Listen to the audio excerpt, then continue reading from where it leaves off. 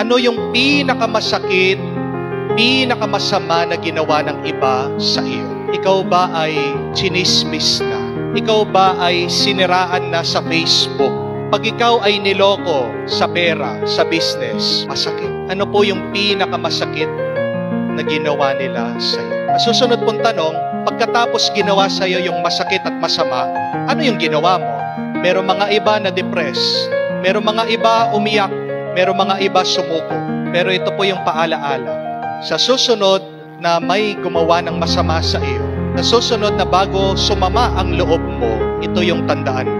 May mas nakaranas ng masama kesa sa iyo.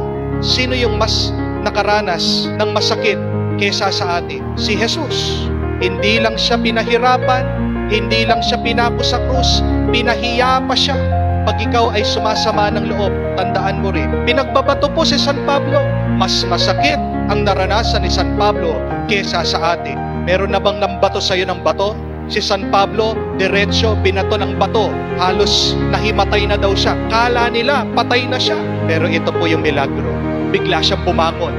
Nung susunod na araw, tumayo siya. Ang milagro ng pagkamatay ng ating Panginoon, siya'y muling nabuhay pagkatapos ng tatlong araw. Anong nangyari yun? Si San Pablo, pagkatapos ng overnight, biglang tumayo, biglang nagbalik po sa kanyang pangangaral. Paano naging posible? Pagkatapos kang sinaktan, ay makakatayo ka ulit. Do not mind the pain. Do not dwell on the suffering. But mind the mission. Remember your dreams. Pag ang panay mong inaalala ay ang mga masasakit na karanasan, hindi ka makakatayo.